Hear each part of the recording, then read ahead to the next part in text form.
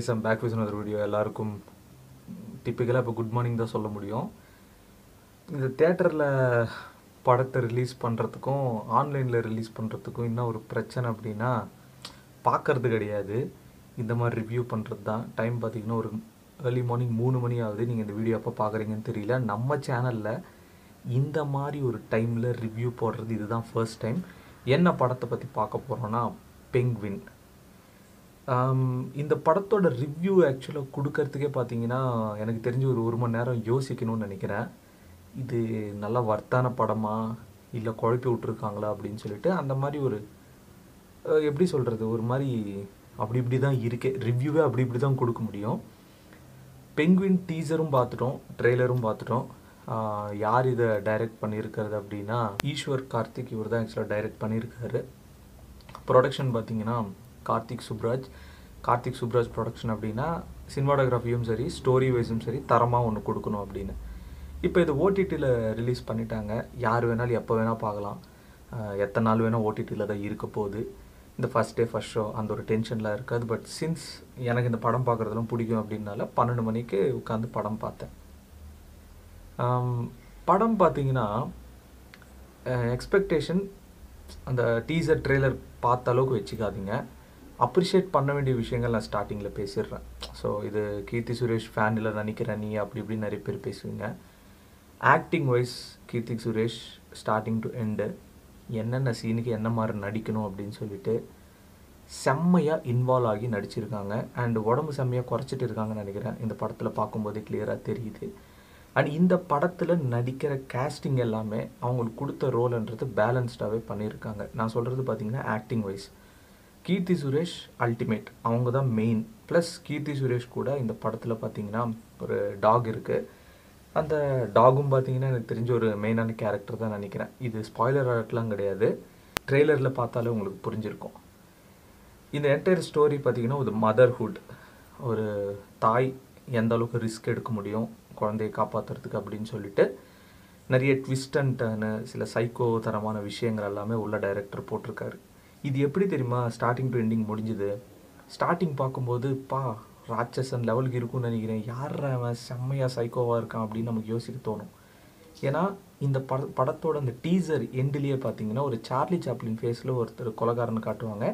நான் அப்பயே கெஸ் பண்ணேன். அந்த ஒரு கேரக்டர் பார்த்தீங்கன்னா நான் சொன்னதெல்லாம் கிடையாது.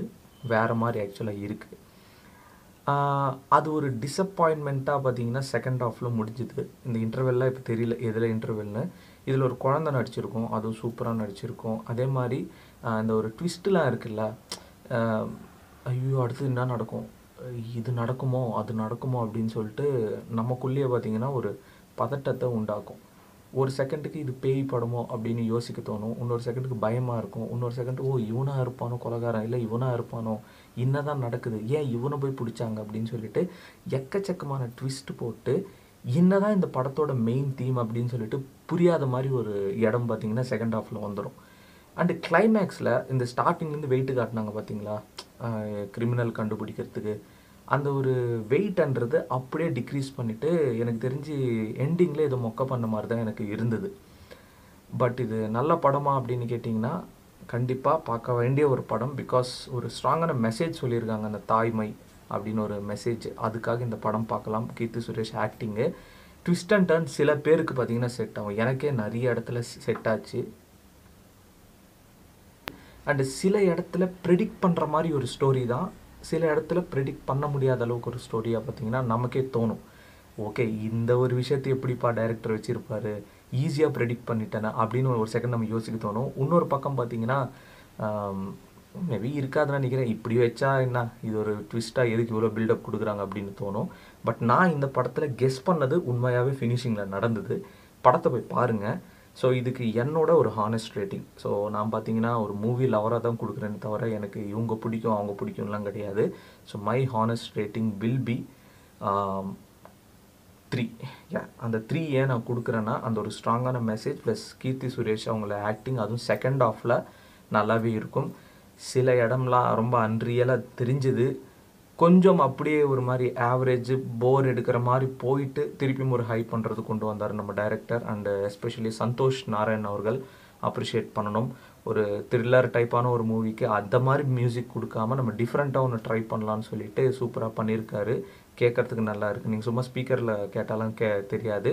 ஹெட்செட் போட்டுட்டு ஃபுல் படம் பாருங்கள் ஓவராலாக எப்படி சொல்கிறது இடியாப்பமும் நூடுல்ஸும் ரெண்டுத்தையும் சேர்ந்து பெசஞ்சு ட்விஸ்ட் அப்படின்ற ஒரு பேரில் குழப்பி விட்டு கடைசியில் பார்த்தீங்கன்னா நம்ம நினச்ச எக்ஸ்பெக்டேஷன்ஸ் அப்படியே கம்மி பண்ணிவிட்டு ஒரு ஒரு பக்கம் நல்ல ஆக்டிங் ஒரு பக்கம் நல்ல ஒரு கான்செப்டாக எடுத்துன்னு வந்து ஒரு மாதிரி பண்ணி விட்டு பிச்சு போட்டிருக்காங்க.